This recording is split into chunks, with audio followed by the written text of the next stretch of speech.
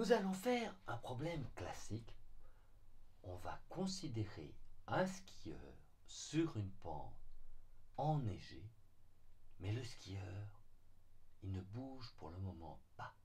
Il est sur ses skis, il est sur la pente, mais il ne bouge pas. Il est juste à la limite avant de bouger. Et on va analyser ce problème. Alors, comment va-t-on faire? On a donc une pente. Dessinons donc une pente. Voilà la pente. Voilà la pente. Oh, elle n'est pas jolie. On va plutôt la dessiner en gris comme ceci. Voilà la pente. OK? Donc, nous avons la pente comme ceci. Voilà la pente. Bilou, bilou, bilou, bilou, bilou, bilou, bilou, bilou, bilou, bilou, bilou, sur la pente, nous avons un bloc. Ce qui modélise mon ski. OK? Et je vais me mettre dans la situation où le bloc est tout juste à la limite de commencer à bouger. Donc il ne bouge pas, mais il est tout juste à la limite. Fondamentalement, on a dans la situation du modèle où on a grand F ici et petit f ici, vous vous souvenez, ça montait et puis ça redescendait, on se trouve exactement ici. Cela va se mettre à se déplacer. Il ne bouge pas, mais il est sur la tout juste sur le point de se déplacer. Donc il ne bouge pas, mais il va se déplacer. Il est tout juste, tout juste, tout juste, tout juste à la limite.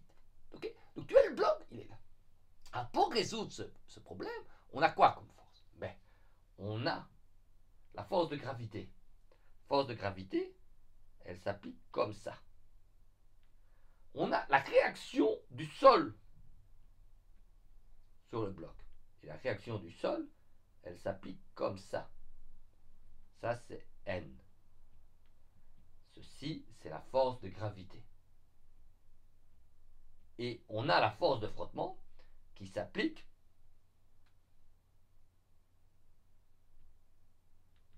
pour s'opposer au mouvement, puisque le bloc, sous l'effet de la gravité, il a tendance à glisser, et c'est le frottement qui l'empêche de bouger. Pour résoudre ce problème, c'est une bonne idée de définir les axes intelligemment. Et va les aligner avec la force N et la force F. Pourquoi on va faire ça? Ben Parce qu'il y aura deux forces qui auront qu'une seule composante. Euh, la force mg, par contre, elle aura deux composantes. Ça, on ne saura pas faire autrement. Mais c'est une façon subtile de résoudre. C'est pas obligatoire, mais c'est plus simple. Donc regarde, on va donc mettre un axe Y comme ça,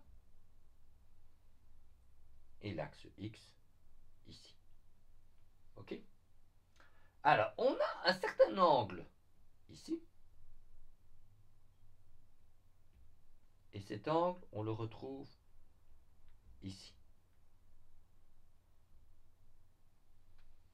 Ah, je dis, ouais, comment on trouve que c'est cet angle-là? Regarde bien, si alpha il est tout plat, cet angle alpha vaudra 0. Et les deux forces seront alignées. Si, tu vois, tu fais le dessin. Tu regardes avec ta petite équerre, tu vois bien que c'est cet angle-là. Ça se voit intuitivement. Et on va décomposer donc la force rouge hein, en deux parties. Alors on va un petit peu, on va effacer celui-ci parce qu'il n'est pas joli. On va le mettre ici euh, en rouge. Pélo, tu te concentres Vincent. Voilà. Ça c'est MG. On va décomposer cette force en une composante alignée avec F et une composante alignée avec N. OK? Et donc, on va écrire les trois vecteurs. MG, il a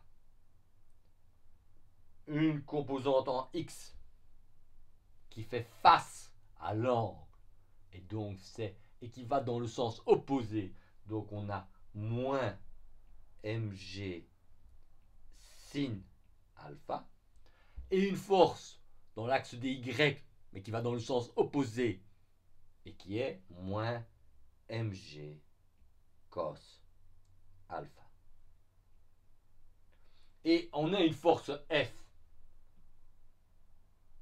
Alors qu'est-ce qu'on sait? Force F, elle a deux composantes. Donc une vaut 0, la composante en Y. Et on a une force N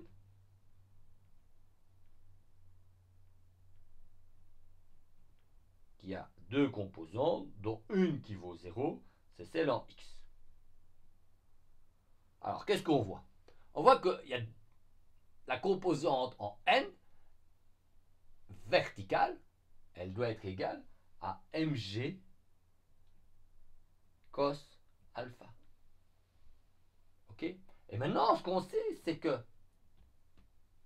petit f, c'est égal à mu statique fois n. Donc petit f, c'est quoi? C'est mu statique mg cos alpha. OK?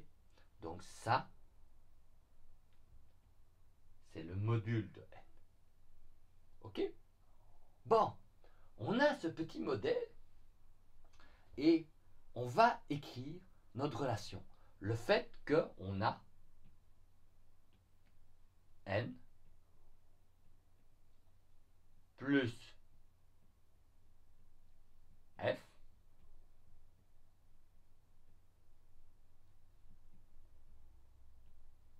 plus la force de gravité mg est égal à 0.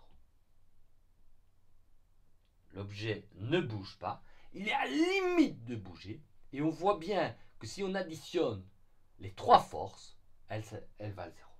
Donc ça, c'est l'égalité des forces, c'est la loi de Newton. Oh, ça c'est pas joli, on va recommencer.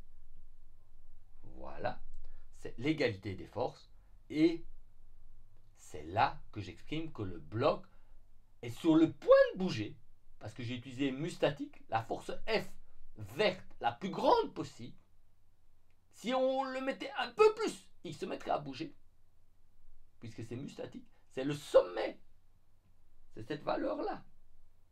Donc je me suis bien mis au moment où le bloc va se mettre à bouger. Et ici, F est égal à mu statique fois N. OK? Et alors, qu'est-ce qui va se passer, les enfants? Il va se passer quoi? Ben, on va prendre l'expression qui est ici. Voilà, voilà, voilà, voilà, voilà. Et on va développer ça. Copier ça. Là. On va le coller ici. Voilà. Et qu'est-ce qu'on va faire? On va écrire cette expression en fonction des trois choses qu'on a obtenues. Donc tu te souviens? On avait le petit dessin qui était ici là, comme ça. Ok? On a n qui est comme ça. On a f qui est comme ceci. Et on a ici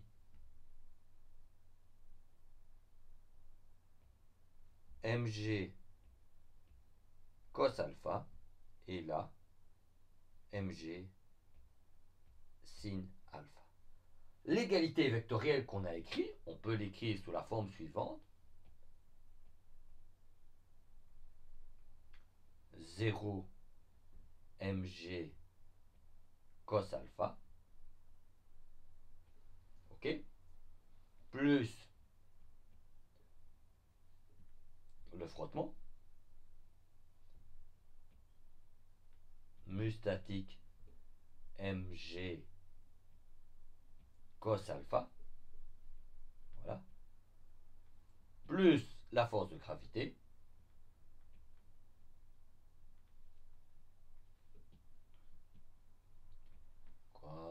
ici, moins mg sin alpha, moins mg cos alpha, et tout ça est égal à 0. Donc j'ai écrit la relation vectorielle entre les trois forces. Et puis maintenant, qu'est-ce que je vais faire? Ben, Je regarde qu'il y a en fait l'équation pour les composantes en x et l'équation pour les composantes en y. Donc j'ai quoi? J'ai mu s mg cos alpha qui est égal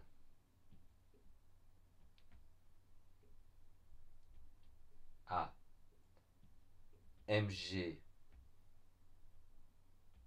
sin alpha. Et pour l'autre composante, j'ai mg cos alpha qui est égal maintenant à mg cos alpha. Et tu vois, j'ai bien les deux composantes verticales, enfin perpendiculaires au sol, qui s'annulent.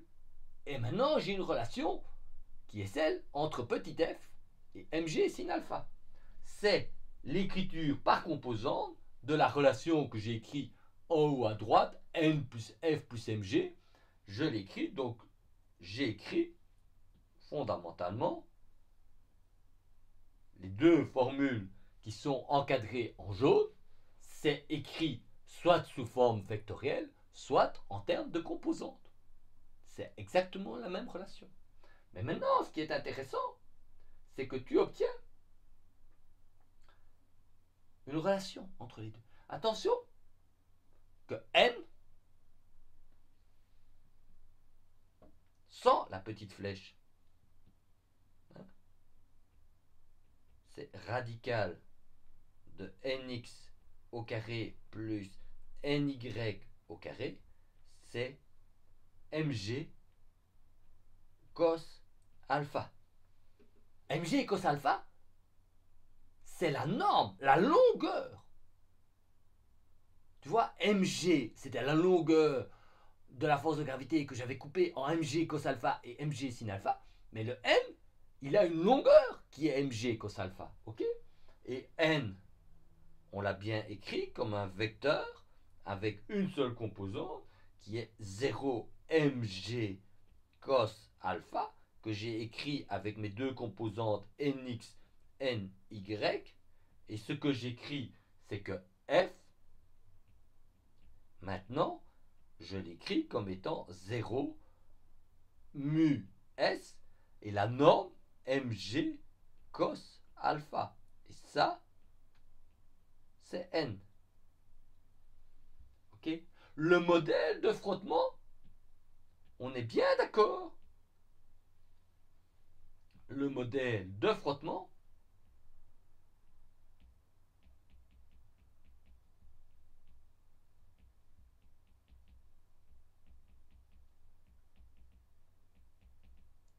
c'est petit f sans la flèche est égal à mu s fois n. La norme du frottement est égale à mu statique fois la norme de m, pas les vecteurs. C'est ça la même chose. C'est les normes. Pilou, pilou, pilou. Tu vois ça, Gaminou? Ok? Alors maintenant, on va prendre nos régressions et on va terminer le calcul. Regarde, tu prends les deux relations là, comme ça, tu copies ça, et on va terminer le calcul. Et on met les deux relations là. Alors regarde, on va redessiner, on va reprendre le dessin complet de la géométrie. Ok? Donc, on va faire ça. Attention, ça va être subtil. On va prendre le dessin de la géométrie comme ça. Voilà, copier. Et on va le mettre ici. Pilou, pilou, pilou, pilou. Voilà, voilà, voilà, voilà. Bon, on va un peu le nettoyer. Parce que ça, c'est pas joli. On va lever ça. Voilà. OK Et on a ça. Alors, qu'est-ce que tu observes? Tu mets tout de suite, tu observes tout de suite que la deuxième relation, elle est évidemment toujours satisfaite. Mais la première, ça c'est moins évident. La première, il faut une condition entre mu s et alpha. Il faut trouver le bon angle, l'angle où ça va être à la limite de tomber. Et tu vas voir que cet angle où elle est à la limite de tomber va me permettre de déterminer le coefficient mu s. Parce que qu'est-ce qu'on écrit? On prend cette relation-là, regarde, tu prends cette relation-là, bilou, bilou, bilou, et tu obtiens que mu s, mg cos alpha est égal à mg sin alpha. Ce que tu fais, c'est tu simplifies m avec m. Tu simplifies g avec g. Et tu obtiens quoi? Tu obtiens que mu s est égal à sin alpha sur cos alpha ou encore tangente alpha. Et maintenant, maintenant, j'ai trouvé comment je pouvais obtenir mu statique entre deux surfaces. Tu mets le bloc sur un plan incliné et tu commences à soulever le bloc. Et au moment où le bloc se met à bouger, tu as trouvé l'angle alpha pour lequel la force mu s est maximale. Et donc je peux savoir que mu s est égal à la tangente de cet angle maximal. Donc tu as soulevé la planche sur laquelle tu as mis l'objet. Et au moment où cet objet va se mettre en mouvement, tu as trouvé la valeur de mu et donc voilà comment on peut calculer expérimentalement, avec un système extrêmement simple, le coefficient de frottement statique. On a obtenu, on a ainsi obtenu, ouais, j'ai oublié le on, on a ainsi obtenu une manière.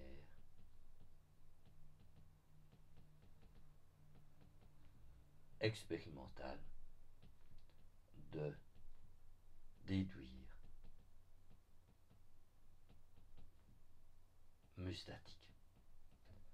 C'est aussi simple que ça.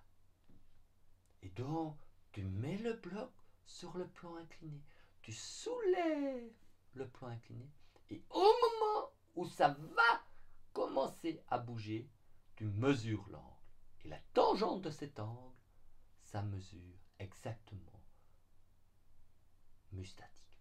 Et donc si mu statique est égal à 1, l'objet se mettra à bouger 45 degrés, parce qu'à 45 degrés, le sinus et le cosinus sont identiques, et la tangente de 45 degrés vaut 1. Eh, piece of cake, hein?